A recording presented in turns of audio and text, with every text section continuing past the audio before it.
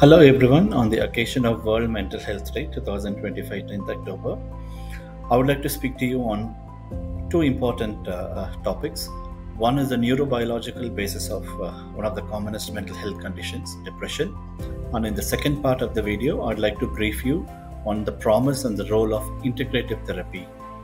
So, what is the biological basis of depression? We all know that depression is one of the commonest illnesses that afflicts mankind and causes a great deal of suffering even though we do not have a simple, easily accessible test for depression like a blood test or a scan, like we do for high blood pressure or diabetes, but we do know a great deal of research has happened, and we do know that structural, microstructural, cellular level changes happen in depression in the brain.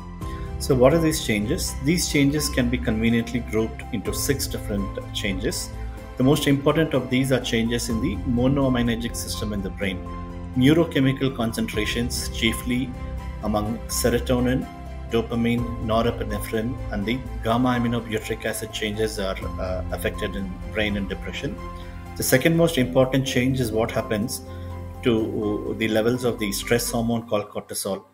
Because the stress hormone uh, system is stimulated, there's a great deal of outpouring of the stress hormone level called cortisol there is an activation, a chronic low grade neuroinflammation that happens not only in the brain, and because of this, uh, uh, inflammatory cytokines are also secreted. So there's an ongoing low grade uh, inflammation which cannot be identified with conventional blood tests.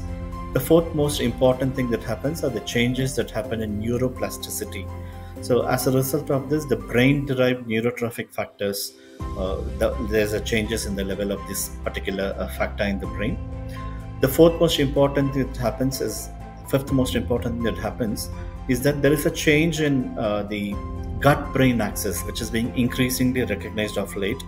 What happens is that there's an imbalance between uh, the concentration of the good bacteria and the bad bacteria because of this hormone levels chemical levels all of these are changed and this sends back signals from the gut into the brain and because of this the uh, mental balance and the emotional resilience is also affected. So, these are the chief changes that happen in the brain in uh, depression, which is one of the commonest mental health conditions in the world and leads to uh, a lot of disability in patients who are afflicted with this important condition.